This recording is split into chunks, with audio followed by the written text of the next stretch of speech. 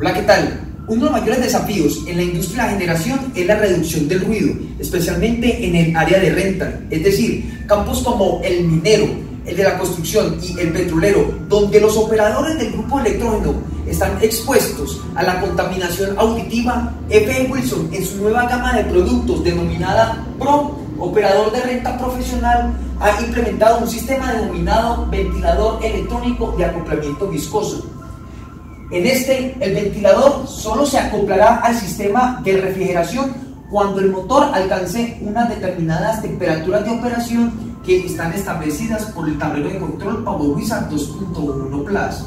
Este entonces envía una señal a una solenoide que permite el acople o desacople del ventilador del sistema.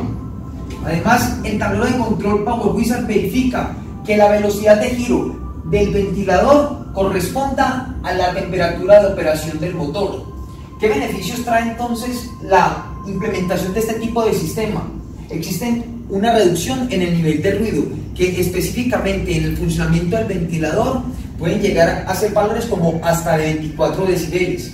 Y de forma holística con respecto al funcionamiento del grupo electrógeno, pueden ser valores de hasta 5 decibeles, basados en condición de carga.